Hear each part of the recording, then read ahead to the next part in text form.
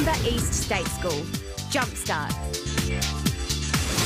Launched in 2007, the program provides learning and development opportunities through playgroups, cooking, and parent workshops.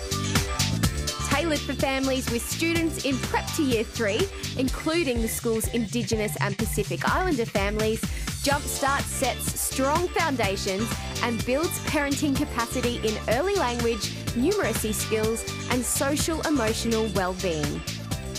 Growing from 8 to 23 families over four years, Berrinba East's program focuses on partnerships, collaboration, community, and early child development, enabling school success.